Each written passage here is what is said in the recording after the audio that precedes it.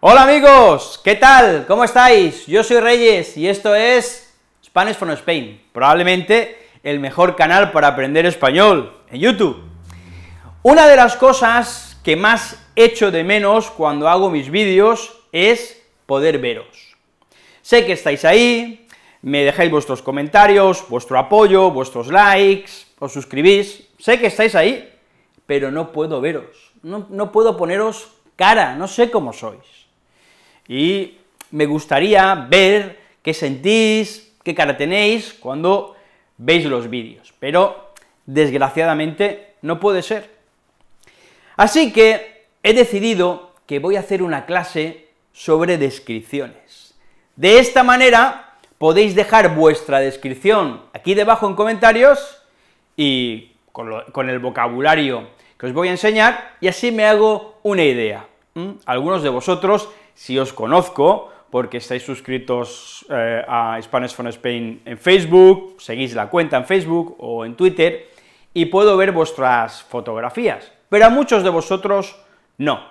Así que he ideado este vocabulario avanzado, muy avanzado, para que hagamos una descripción, para que hagamos una descripción usando adjetivos, verbos, sustantivos junto con adjetivos, coloquialismos, es una lección de vocabulario que no vais a encontrar en un manual o, en una página web en internet, porque son palabras muy especiales. ¿eh? Es probable que las encontréis cuando leéis literatura, por ejemplo, porque en, en la literatura, en las novelas, encontramos descripciones avanzadas. Así que no quiero enrollarme más, vamos a empezar con la lección de hoy. Vocabulario para hacer descripciones nivel C1 y C2.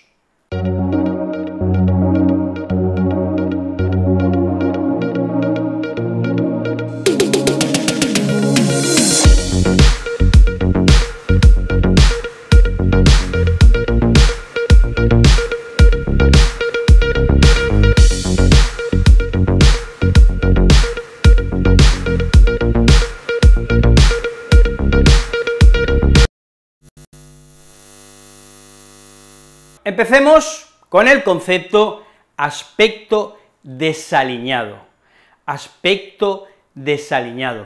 Cuando alguien tiene un aspecto, y el aspecto es cómo se ve una persona, cuando alguien tiene un aspecto desaliñado, es que va quizás un poco sucio, con la ropa raída, rota, muy desgastada, esto es decir, tener un aspecto desaliñado o dejado.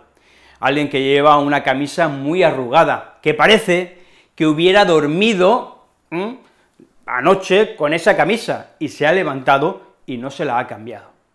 Tiene el pelo despeinado. Esto es aspecto desaliñado.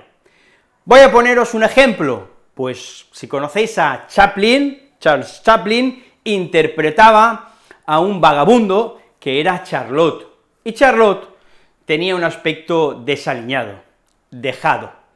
Esta es, este es el significado, el sentido de aspecto desaliñado, cuando tienes un faldón de la camiseta dentro y otro fuera, ¿vale? Cuando tienes la ropa muy arrugada, estás despeinado, aspecto desaliñado o aspecto dejado. Un signo de que vas un poco desaliñado puede ser la barba de tres días. Es esa barba que nos sale cuando llevamos tres días sin afeitarnos. Ahora es más habitual, hay gente con barba, hay gente con barba incipiente que está empezando a salir, gente con barba larga, pero antes la gente siempre se afeitaba. Cuando pasan dos, tres, cuatro días y no te afeitas, tienes barba de tres días. Este es un concepto que podemos usar para describir a alguien. Tiene barba de tres días, tiene una barba incipiente, que se ve, que hace que su cara sea oscura, pero no es larga, es una barba todavía que está creciendo, no llega a ser barba. Y a eso le llamamos barba de tres días. Solemos utilizar este número, tres, no decimos barba de cinco días, o de seis, o de dos. Es habitual decir barba de tres días para ese tipo de barba. Otro concepto que podemos enlazar con la dejadez, con ir desaliñado, es la barriga. La barriga cervecera. La barriga cervecera, ¿vale? O sacamos la barriga así y sale para afuera, a eso le llamamos barriga cervecera. La relacionamos, la conectamos con el hecho de beber cerveza, porque la cerveza es alcohol, el alcohol engorda, y además la cerveza tiene muchos gases, tiene muchos gases, que sí, que sí, y entonces nos hincha, ¿vale? Pues esto también podemos conectarlo con el aspecto desaliñado, pero el concepto también puede ir aparte, puedes ir muy arreglado y tener barriga cervecera. La barriga cervecera es esa barriga que sobresale por fuera, ¿de acuerdo?, de los pantalones, la vemos saliendo. Barriga cervecera. No solo vamos a criticar el aspecto de los hombres, la barriga cervecera es algo que se relaciona más con los hombres, la barba de tres días también. Hay un concepto, un vocabulario especial y muy interesante que es el de ir pintada como una puerta. Sabemos que algunas mujeres se pintan, se maquillan. Cuando hay un exceso de maquillaje, cuando hay muchos colores, cuando su cara brilla, cuando realmente nos quedamos, es muy llamativo, todo el maquillaje que lleva en la cara, esa mujer, decimos que se pinta como una puerta, se ha pintado como una puerta. Hablando de colores en la cara, hay un color, todos tenemos colores, morenos, negros, blancos, amarillos, bueno, hay muchos colores y muchos tonos en nuestra cara, pero hay un color que es excesivamente blanco. A veces se debe a que estamos enfermos, o a que estamos mareados, no nos encontramos bien. Y esto es ser paliducho. Paliducho. Una persona paliducha es una persona que es muy blanca, tiene la tez de la cara muy blanca, llamativamente blanca. Eso es paliducho. Estar paliducho se puede asociar también con tu estado físico. Quizás estás un poco enfermo. Si estás pálido, es que estás blanco. A lo mejor te han dado un susto, o has visto un fantasma, qué sé yo. Pero esta es la expresión que vamos a usar para hablar de nuestro color de piel, paliducho. Veamos un par de coloquialismos. Son coloquialismos que usamos para hablar de nuestro aspecto. Cuando mm, nos estamos poniendo la ropa, nos ponemos guapos o guapas, nos estamos arreglando. Sí, sí, de la misma forma que cuando llevo el coche al mecánico, el mecánico arregla mi coche, lo pone a punto, hace que funcione. Si está estropeado, pues arreglarse es pintarse, maquillarse, ponerse la ropa, ducharse, todas esas cosas que hacemos para estar guapos, nos arreglamos. Y otro coloquialismo con el mismo sentido más coloquial todavía es maquearse. Si te estás maqueando, te estás arreglando, te estás poniendo guapo o guapa. Bueno, en mi caso es muy fácil, es muy fácil, porque yo ya soy guapo, ¿no? Pero bueno, mm, no necesito maquearme mucho, pero hay personas que tienen que maquearse mucho. Bueno, es una broma, ¿eh? Maquearse, arreglarse, ponerse guapo. Otro, otro vocabulario con el verbo llevar, y es llevar el pelo suelto. Esta, mayormente, va a ser una expresión que usamos para las mujeres, o que hacen las mujeres, porque tienen el pelo largo. También hay hombres que tienen el pelo largo y la pueden usar. No es una expresión única o exclusiva de las mujeres. También los hombres que lleven pelo largo la pueden usar, ¿vale?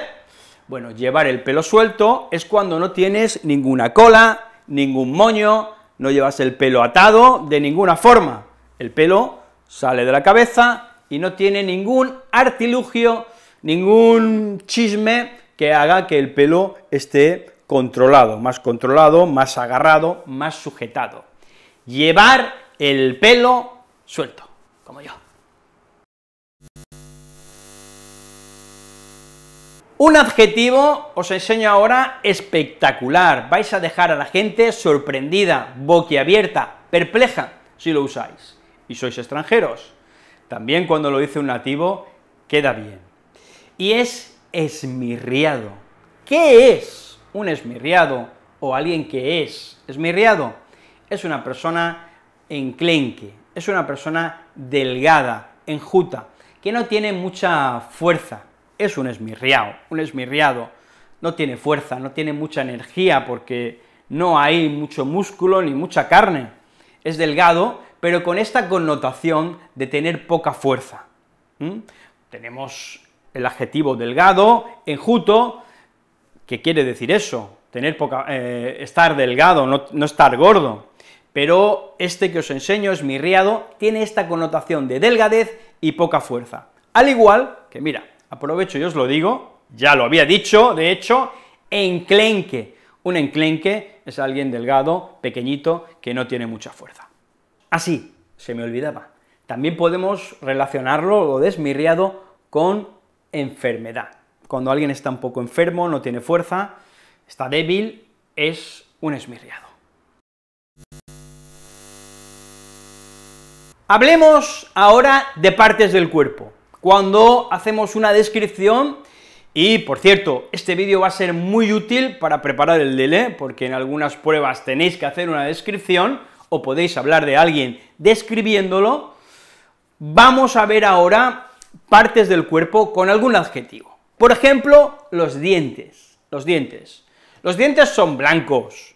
Si hacemos una descripción, no es necesario decir que los dientes son blancos, pero podemos enfatizar la blanqueza de esos dientes diciendo que son dientes resplandecientes, dientes que brillan, dientes que tienen ese brillo porque están muy limpios, porque están muy bien cuidados o porque nos hemos hecho alguna operación estética en el dentista, ¿vale? Así que, atentos a este concepto de dientes resplandecientes, dientes brillantes. Y ojo, ojo a la que viene ahora, porque la que viene ahora está en el ojo, es un ojo vivaracho. Ojos vivarachos. ¿Qué quiere decir que alguien tiene ojos vivarachos? Ahora os lo explico. A ver, tenemos dos conceptos. El primero, está claro, es ojo, el ojo, la parte del cuerpo y el otro es vivaracho, que podemos enseguida relacionar, conectar rápidamente a, a vida, a vivir. Un ojo vivaracho, un ojo con vida, bueno, es alguien, una persona que a través de su mirada lo que hace es emanar vitalidad, lo que hace es emanar alegría, jovialidad, porque tiene ojos vivarachos. Sus ojos son muy expresivos y hay una alegría contenida dentro de ellos. También una parte del cuerpo, ojos, con este, con este adjetivo, y hará que vuestra descripción suba el nivel. Ojos vivarachos. Como hemos visto adjetivos, hemos visto coloquialismos, hemos visto sustantivos, partes del cuerpo, un montón de cosas, he dejado esta última expresión para ver qué, pues una expresión, ya lo he dicho, y es ser más feo que picio, es más feo que picio. Podemos usarlo también con un animal, ¿vale?, si es feo. Es más feo que picio. Lo que hace es enfatizar, subrayar, darle más fuerza a su fealdad. Lo que es más feo, o el que es, o la que es más feo o fea que picio, es muy fea o muy feo. Ya lo sabéis, expresión, ser más feo que Picio. ¡Ey! Mira, mm, creo que le gustas a esa chica. Uf, es más fea que Picio. Eso sí, vamos a llevar cuidado y no utilizarla diciéndoselo a otras personas, porque puede ser ofensiva. Pero, bueno, mm, aunque no es muy delicada, a veces podemos usarla para hablar de la mm, fealdad de alguien. Ocurre, por ejemplo, que a veces los bebés son muy feos, los queremos mucho, son muy tiernos, pero hay bebés recién nacidos que son muy feos, son más feos que picio. ¿Habéis visto qué pedazo de lección podéis ver en Spanish from Spain? Un vocabulario que va a hacer que tengáis la descripción más rica, con abundancia de adjetivos, de sustantivos, de partes del cuerpo, y que, bueno, dejéis asombrado a cualquier persona que lea una descripción que hacéis o que oiga cómo describís a alguien. Esta es la punta del iceberg, hay muchas más expresiones. Si os ha gustado este vídeo, pues hacerlo notar, especialmente con likes, comentarios, y podemos preparar más, porque podemos hacer una descripción que sea la joya de la corona, la envidia del mundo entero, si utilizamos expresiones y palabras específicas, y que no todo el mundo suele usar cuando hace una descripción. Bueno amigos, amigas, estudiantes, que un placer enseñaros español y espero veros pronto. Ahora, si os parece bien, le dais al like, compartís, os suscribís y comentáis. Os quiero mucho, cuidaos. La vida puede ser maravillosa. Nos vemos la semana que viene. Adiós.